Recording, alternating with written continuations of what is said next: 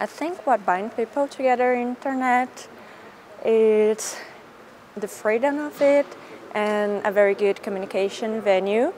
Um, also, we are uh, integrated uh, a lot, uh, mainly with Internet of Things nowadays. So I think the discussion should be uh, from a base of freedom, liberty, privacy, human rights, and then build from there the discussions of the future of internet.